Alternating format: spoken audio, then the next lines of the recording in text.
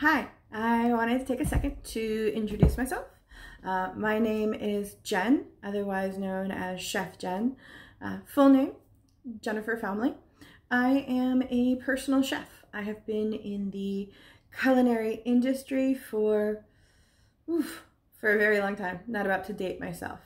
Um, I have done cooking classes, educational events, um, cooking privately in people's homes, working for catering companies, just about everything you can imagine. And I am switching to a digital platform. I want to create a community of like minded individuals who enjoy what I do, which is food.